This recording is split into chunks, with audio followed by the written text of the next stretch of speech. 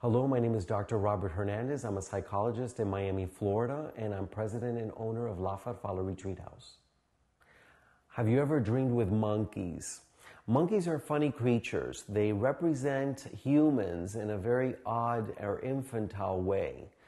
Generally, a monkey in a dream could symbolize that there's an immature attitude that might need to be dealt with consciously, or there's a sense of being vulgar, or that there's a cultural norm that's not accepted uh, consciously in the outside world or in the cultural society the person lives in that needs to be dealt with.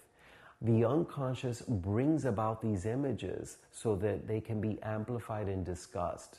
What I mean by amplified is what does the monkey mean to the person?